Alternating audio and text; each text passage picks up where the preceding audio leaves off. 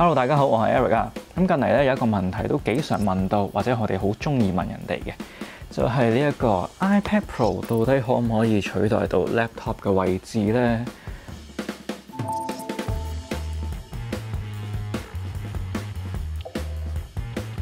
咁樣其實呢個問題咧就好似中學生應否談戀愛呢一個辯論題一樣，成日都出現嘅啦，成日都會有唔同嘅一個結果嘅。咁嚟到二零二一年啦，咁 Apple 咧直頭喺 iPad Pro 上面用埋電腦級嘅處理器，令到成個比較由蘋果同雞蛋嘅比較升級翻，好似蘋果同橙，或者蘋果同埋比較似蘋果嘅東西。咁佢嘅比較咧，就合理好多啦！二零二一年嘅 iPad Pro 啦，一樣都會有大細兩個版本。咁借測嘅呢一部咧，就會係大嘅十二點九寸。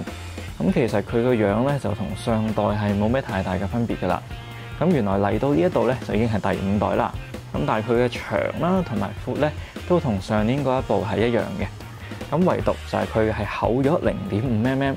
咁再加埋佢重量咧，原來係重咗四十 gram 嘅。咁如果你係用原廠嘅呢一種設計嘅保護套啦，咁例如呢一個 Magic Keyboard 咁樣啦，咁就算厚咗少少咧，其實你都係可以黐翻上去嘅。咁因為佢係一個少少嘅開放式嘅設計。咁但係如果唔係，你係買咗一個全包邊嘅一個保護殼嘅話咧。咁就有機會因為厚咗少少咧而用唔翻嘅。嗱，咁如果你夾硬要將兩部機揾少少嘅唔同嘅話咧，其實佢就係個喇叭嗰度啦。新嘅 iPad Pro 咧，佢喇叭開通會少咗啲啲，少咗幾個。咁另外咧，佢嘅 SIM 卡位置其實都有少少嘅唔同嘅。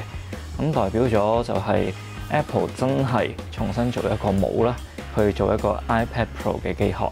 咁始終佢都厚咗少少啦，咁樣。咁只不過咧，喺呢一個 iPad Pro 上面，我哋肉眼見到最大嘅改變就係佢呢一塊嘅熒幕啊。咁今次尤其是我哋借嘅呢一個十二點九寸嘅 iPad Pro 咧，佢會用咗全新嘅 Liquid Retina XDR 嘅熒幕。咁佢後邊嘅技術就係用咗大家都趨之若鶩嘅 Mini LED。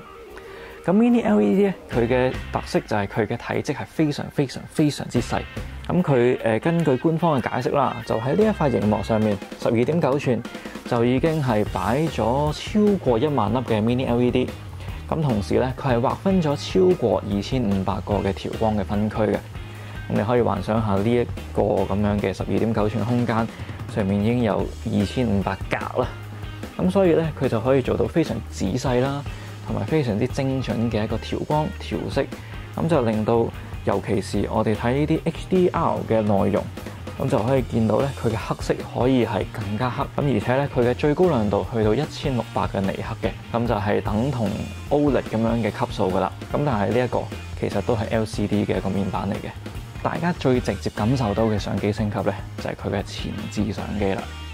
咁佢就由七百萬像素啦，升級到一個一千二百萬像素。咁而且咧，仲係超廣角嘅相機添。咁仲有一個新功能啦，就叫做人物至中嘅。咁就係特別俾你喺 video call 嗰陣啦。咁就係令到個畫面咧係追住你個樣去到走來走去嘅。咁萬一你好似我咁樣中意左右搖來搖去啊，或者唔小心行坐過咗少少咧，咁個畫面依然都會係拉翻正嘅。咁因為咧佢係一個超廣角嘅相機啊嘛。咁另外啦，如果有人行入嚟嘅話咧，佢亦都會自動將個畫面放翻大。咁就係兩個人一齊傾偈都可以啦。咁最正嘅咧就係呢個新功能，居然唔係 Apple 獨享嘅。咁所以咧，除咗喺 FaceTime 之外啦，喺 Google Meet 啦、Zoom 啦、Skype 上面咧，都已經可以享用到噶啦。咁不過 Facebook Messenger 就好似未有，咁啊唔知 API 未更新啦，定係佢哋兩個嘈交啦。咁 iPad Pro 二零二一嘅效能咧，相信都係大家最關注嘅地方噶啦。咁因為咧，佢係換咗一個電腦級嘅 M1 處理器啊嘛。咁借嘅呢個十二點九寸嘅 iPad Pro 咧，原來仲係高配版本添。咁佢就係有八核心嘅 CPU 同埋八核心嘅 GPU，再加埋咧十六 G RAM 咁多，咁完全咧就係一部高配版嘅 MacBook Air 嘅配置。咁以下咧就會係評測工具嘅一啲跑分成績啦。咁我哋可以見到啦，M1 處理器嘅 iPad Pro 咧，佢嘅成績的確係比上年用 A 十二 Z 嘅 iPad Pro 咧係升級咗好多嘅。咁再加埋咧，佢嘅成績其實真係貼近翻我哋之前評測過一部 MacBook Air 嘅成績嘅。咁啊效能部分嘅結論，我哋就可以話呢部 M1 版本嘅 iPad Pro 真係同 MacBook Air 係一樣㗎。咁講完啲分數啦，咁大家可能見到啲數字，哇好勁喎！咁但係都好抽象啦，唔知代表啲乜嘢。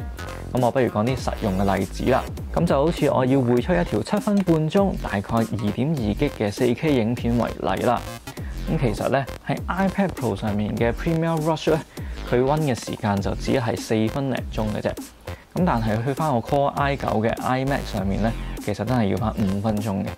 咁所以其實 iPad Pro 佢 render 嘅時間真係快咗好多㗎。